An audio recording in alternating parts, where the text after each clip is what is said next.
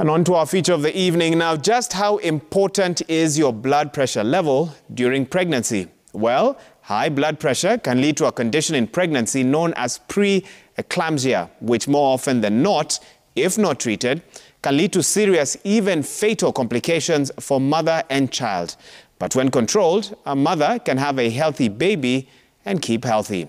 Ray Polo now looks at the journey of a three-time preterm mother who has conquered preeclampsia. Five month old Hima conquered pressure heights and entered the world, albeit in a hurry, just like his name implies. At birth, Hima was separated from mom in a desperate attempt to save at least one of them. Baby Hima had landed at 2 kilograms, only to reduce to 1.6 kilos in a matter of days. My wife was at Nairobi Women's Hospital, Hurlingham. I had to go and get the milk that she has expressed take it to uh, the hospital where the baby is admitted, Nairobi West Hospital. So you, you see, you juggle. At home, you have other babies that you live with the house help.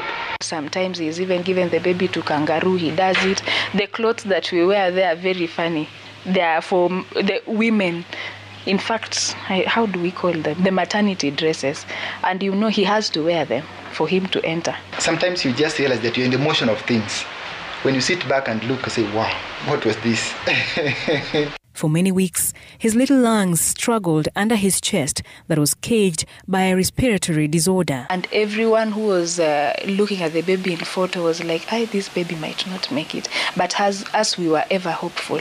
The Orendes were up to another unique trip through parenthood, from tiny baby clothes to palm-sized diapers that had to be imported from the Philippines to the endless trips between home and hospital. Even at the time that we were being discharged, the smallest socks could not fit the baby. We, we used to put it on, but by the moment she, the baby stretches, the socks falls off. So when you put the baby on the skin, sometimes they sleep. You find them that, that they have reached the stomach. So you have to pull them up again and you hold them. Josephine would religiously express and deliver milk to hospital to ensure a daily dose of food for her delicate baby. In most cases, they deplete the insurance cover. You have to look for money from other sources. When you're from the hospital, you still have the fear that maybe they can forget to breathe. The nurses guide you on how to hold them. They tell us that now, with the time when you see that the saturation, oxygen saturation is going down, you tap their legs. So I learned to do that. Their reward a chubby baby boy, now chuckling away his time. Hima is now starting to sit. He's lifting himself. As a mother, I feel so happy. And in fact, I felt that I need to encourage other mothers. In place of feeding pipes and breathing machine that once clogged his face, Hima now wears a big bright smile for the world to savor. A smile that captures his three-year-old sister Andre, who was yet another miracle baby. Three years ago, Andre arrived on week 32 of gestation, weighing a paltry 1.2 kilos. She was lacking both in form and flesh. Honestly, I was scared when I saw her. When we touched the head, you could feel that the skull was not even joined together. Some of the body organs were not even formed fully. I, I had even to ask the doctor, is she a girl or a boy?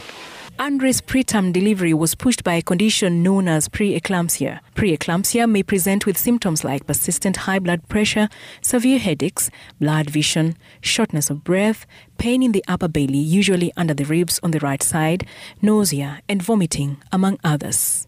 Although largely treatable, preeclampsia can be fatal. When it affects the placenta, the placenta starts producing toxins or poisonous substances that then goes and can end up killing the unborn child.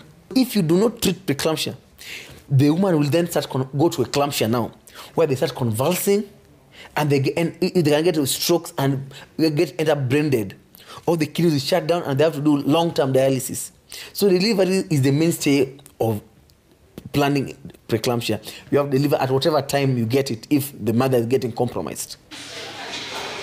Three year old Andre has survived, but still needs to conquer a few more challenges in order to thrive. When this girl was two years, she was still seven kilos.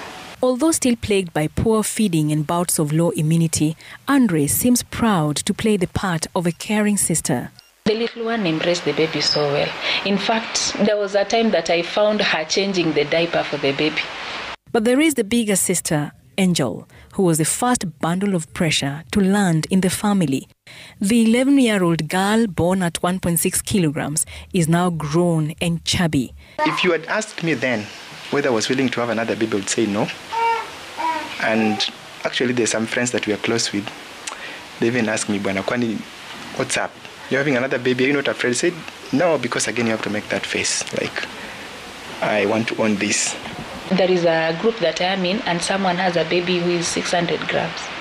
So I just want to encourage them that these babies can live with good care. It is a journey that is possible, one day at a time. Indeed, it is a story of hope, a journey of resilience. And finally, baby Hima is home, whole and healthy, much to the delight of the entire family. My name is Ray Polo for Citizen TV.